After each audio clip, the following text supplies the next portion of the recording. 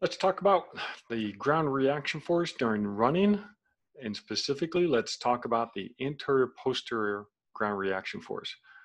Anterior posterior ground reaction force is the force that's pushing uh, against the direction of movement or in uh, the same direction as movement. Now, during running, uh, we sometimes try to uh, think that we're running a constant speed but hardly ever is that happening. In fact, every time our foot strikes the ground, we will slow down and then speed up during the stance phase of running. And we see that slowing down and speeding up reflected in the anterior posterior ground reaction force. So what I'm going to do is draw a typical ground reaction force profile for the anterior posterior ground reaction force and then uh, identify some of the key components of that profile that we uh, typically analyze uh, for movement. Okay, so here's what I have. On the y-axis is the anterior posterior ground reaction force, positive, zero, negative. Remember the force can be acting in line with uh, the person, or excuse me, in the same direction or in the opposite direction uh, as the runner. And then down here I have uh, time. And so here I'll put TO for takeoff. And over here at time zero, I'll put GC for ground contact. So what happens if we run across the force platform? What do the data look like in an anterior posterior direction?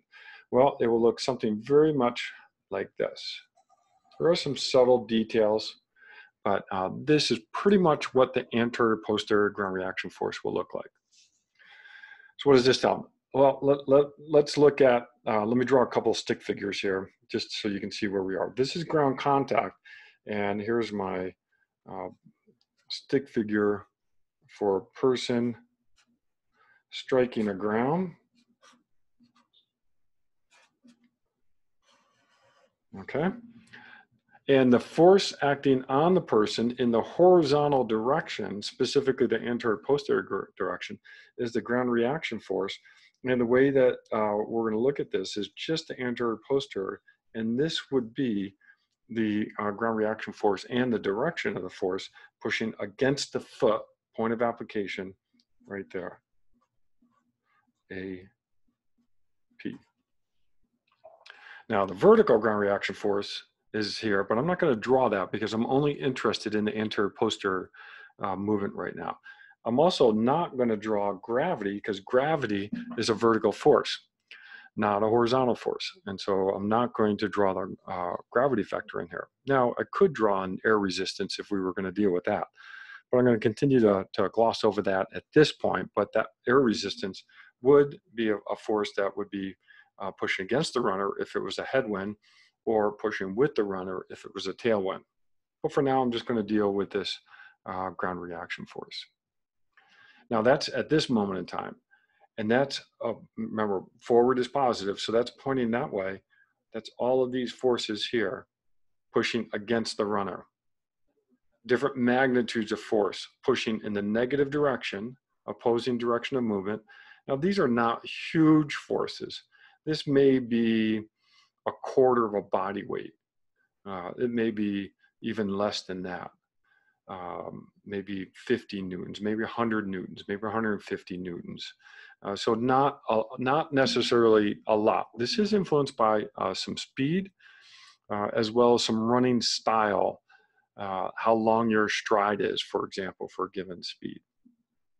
Okay, so all the way up until this point right here, the horizontal ground reaction force that in the anterior posterior direction is pushing against the direction of movement. So there's no other forces acting in the horizontal direction. So this force pushing against this person is actually causing this person to slow down during this phase right here. It's causing the person to slow down because there's no other force trying to propel the person forward. So where does propulsion come from? Well, that's over here on this side. And now I'll try to draw the runner with the foot in contact with the ground still. And now later in stance, and this other leg is being swung forward. And now I've got a force in the anterior posterior direction pushing on the runner in this direction here. That's also the ground reaction force. Okay, both of those are the anterior posterior ground reaction forces. In this case, this force is pushing in the same direction as the runner, pushing that way. Point at point of application is on the foot. And that's all these positive forces. Anywhere where this force is pushing in the same direction, the magnitude of that force is illustrated on this profile. These are all positive forces. These are all uh, causing uh, uh, propulsion for uh, the runner. Okay, so now let's look at this in a little bit more detail. So obviously we can identify peak forces. We don't actually have names for this uh, for like F1 or F2, but this would be F braking peak, and this would be F propulsion peak. Okay, so we can identify the peak force in braking and identify the peak force in propulsion. Now, there is some intricacies in how what happens in this first part of this curve when we look at actual data. Uh, I'm going to go over, I'm, I'm going to gloss over that at this stage. Uh, but in general, all the forces from the moment the foot's hitting the, the ground, we consider to be negative, although there, there can be some unique details in there that uh, could throw us uh, off in a different direction. Especially if we end up having a period of double support where the other foot is in contact with the ground, that can really change what happens initially with this uh, ground reaction force profile. Okay, so now what's happening here uh, with velocity? Well, at this moment in time, I'm going to go up here. I'm going to put velocity. I'm going to write velocity at ground contact is some value. Okay, and I'm just going to leave that right there. I'll put a dot here. At takeoff, we can also look at the velocity at takeoff. And a lot of times when we're talking about running a constant velocity, we're really talking about the velocity at contact is the same at the velocity as, as takeoff. But what we see here is with this horizontal force in the anterior posterior direction, all of these forces are causing to reduce this velocity, and all these forces are causing velocity to increase. So if I drew sort of a, a dashed or, or a line representing what's happening in velocity during stance phase, it's going to slow down and then speed up. It's going to slow down and speed up with each foot strike. How much slowing down and how much speeding up there is is dependent on how big and how robust this profile is. One way to quantify that is to look at the peak forces. Another way is to look at impulse. Impulse is the area under a curve. And uh, the area under the curve is really what I talk, what I mean by that is the area between the curve and zero. So we would calculate this area in here. Because that's all the negative forces, we would call that braking impulse. Okay, braking impulse. Then we would calculate the area under this portion of the curve. And we would have propulsion impulse.